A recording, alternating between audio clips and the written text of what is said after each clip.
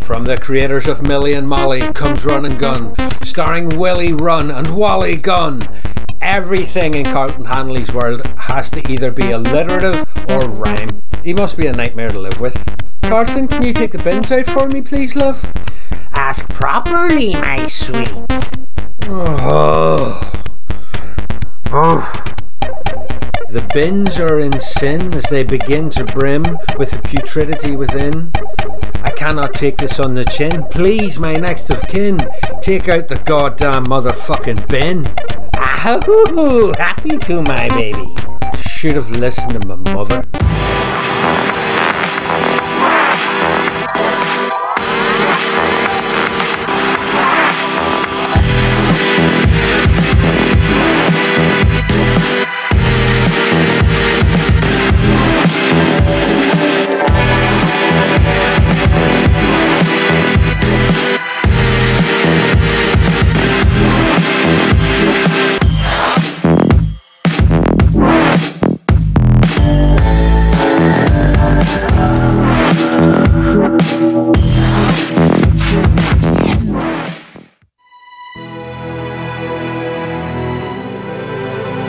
Some multi-room good old-fashioned pew-pew action here. I've been looking forward to the release of this game since I've seen the very first screenshot of it, and I have not been disappointed. Hold on, girl, now wait just a minute. I've got something to say, you should hear it. Oh, I'm happy to make time to admit, I already do. This game is practically flawless in my opinion, so I can jump straight in with the only negative comment I have to say about it, and that is that it's short. But when you take a step back and look at how much has been packed in, this must be working the available memory harder than I work my plate at a self-service carvery. Very demanding, I'm a very greedy man.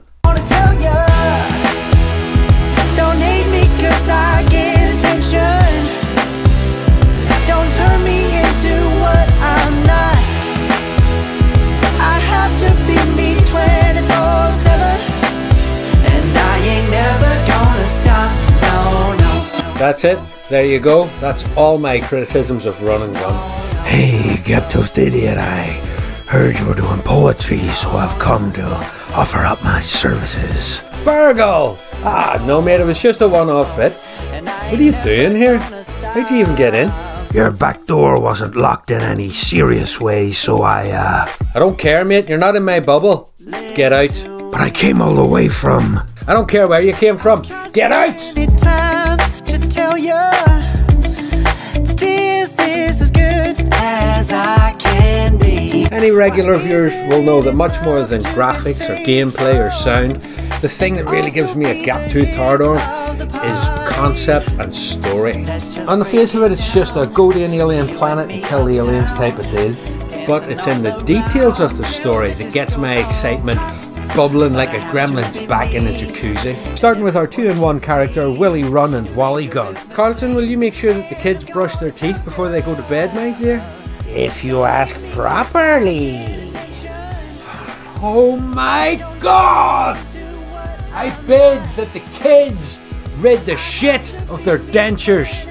Slay the ballet of a fray that betrays molar hygiene. Before they close their eyelids, before they pray, before they dream, please, my husband, make sure their fucking incisors are clean. I love you, baby. I could take your leave you at this point, really honest. Fuck. Uh, are you doing poetry, lad?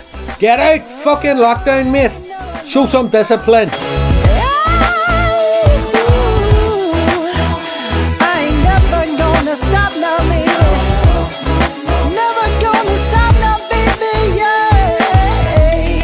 And Wally are two just average infantrymen, totally unremarkable, until a military experiment which has gone wrong slams them both together and they become a super soldier.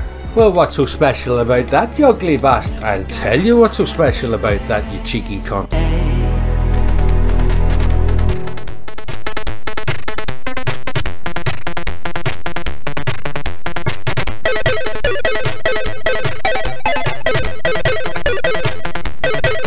Handley has used storytelling to satisfy a technical need. Willie and Wally have separate skills. Willie can air jump, something strongly endorsed by Woody Harrelson, and Wally has the more powerful long range weapon. Okay, arguably, Wally doesn't have any special skills of any time, he just has a big fucking gun. And really, Willie could satisfy that skill shortage just by having the gun. Well, maybe the gun's too heavy for Willie. I don't know. But whatever the reason, whatever the reason is, Wally has the big gun. The player can change between the two characters just to suit the situation that they find themselves in, just by holding down on the joystick for a second. What happened in the military experiment that would make the gun change when Willie and Wally change? Get the fuck out of here, Fergal! Bubble in! Bubble in! And wipe down everything you touch with those wee wipes before you go. Fergal's reading too much into it. It's fine. Just accept it. Nobody gave Nintendo shit about Mario's dungarees changing colour whenever he touches a flower, so I'm not going to give Handley any shit about this. My point is this Handley could have just had uh, one character with a big gun that double jump, but he didn't. He wanted interchangeable features activated by the player. He could have done that with technical wizardry and left it at that, but he went with backstory as the tool to achieve it, and that, in my book, is worth commenting on. Well played, Handley, old boy. Well played. So, we've met our protagonists. Into the plot. The plot is pretty standard, well rehearsed, a well trodden path. Alien threat, protect the Earth. But there is something about the details in it. In particular, the unit running gun are fighting it. Unit is called Commandos on Military Missions, ominously dangerous, often requiring extermination. You're no doubt aware of that Archimedes quote Give me a lever long enough and a fulcrum on which to place it, and I will move the world. That's the kind of leverage we're talking about the Carleton Handley's used to squeeze this acronym into this joke. Well played, old bean. Well played. It's not too often you'll see an acronym with commas in it, so don't miss this opportunity to let your eyeballs bathe in the warmth of a man throwing rulebooks onto the campfire just to squeeze in a joke. Of course, I'm going to love this. Of course I am. And how many soldiers in this special unit? 64! 64! Of course 64! And now it's off to Bantea to kick some alien ass.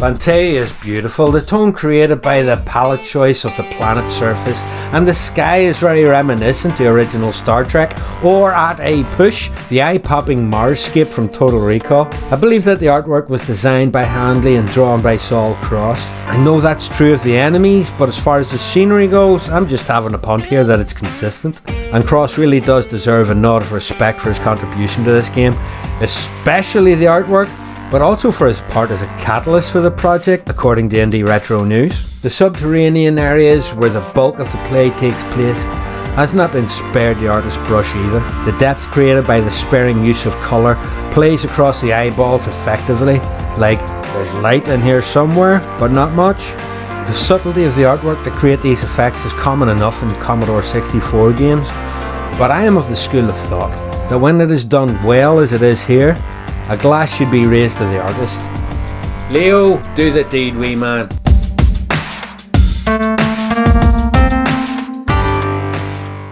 The last Carleton Handley game I reviewed, I commented on how cute the things that I had to kill were. And again, again, is this like a fetish or something, Handley? Actually, don't tell me. I think I'm happy or not knowing. I do like the design and execution of the characters. I do love the Banteas. Look at them. They look like what I imagine it would look like if Bert from Sesame Street could lay eggs. The Aluminium. He's fucking adorable!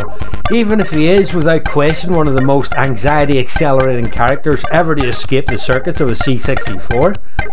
This fella imitates your every move, and I mean every move, exactly to the square centimetre, but behind by a second or two.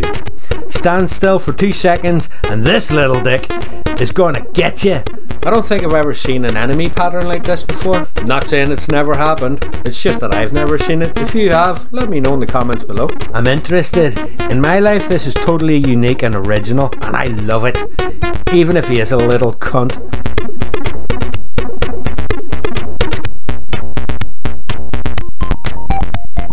Run and gun themselves are nicely done. They have an idle animation which will be familiar to fans of one of Handley's last big C64 games, Millie and Molly. From now on, I'm calling that the Handley bounce. If I ever meet him, I'll be doing that bounce the whole time he's talking to me. No, Carleton, I don't want to go to the animal shelter and watch them put down puppies, but you do you though. Run reminds me a lot of Johnny from The Karate Kid. And Gun reminds me not only of one of my favourite supporting characters of film of all time, he also makes me feel like him.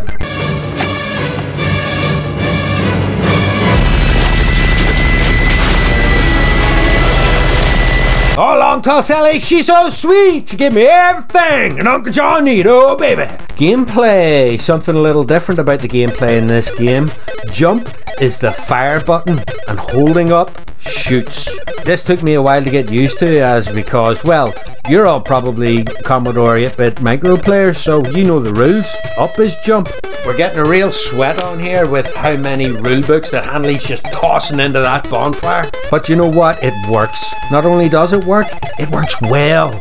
In a game where precision platforming is the key skill, Handley removed the chains around the ankles caused by joystick gameplay by a simple button swap. And now that I'm used to it, I want all games to be like this.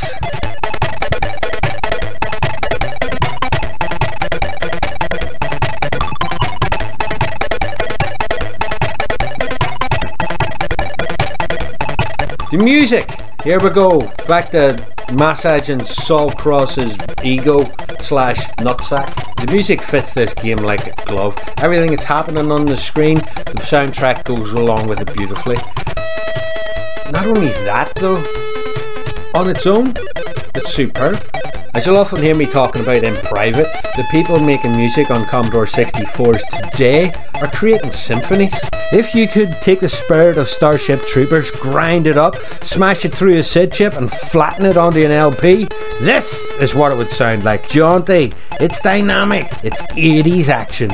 For the sake of my own dignity, I'm going to back up away from the music here because I don't want to go into work tomorrow with my breath smelling like Saul Cross's asshole. You have ears, you know how to enjoy music, you don't need my help here on this one. You owe it to yourself and you owe it to your C64 to get this game. Go on, it's only $3. What's that in real money? About 6p, something like that. Fingers crossed there will be a physical release for this game. Everything else crossed that it will be on cassette. I don't like buying cartridges, they're too expensive for me. You can get your copy from Carleton Handley's itch.io page. A link for that will be dwelling about in the description of this video somewhere. Also, like, share, and subscribe, and find me on the socials. Fucking superb work by Carleton Handley and Saul Cross yet again. Well, that's all from me for this evening. Good night!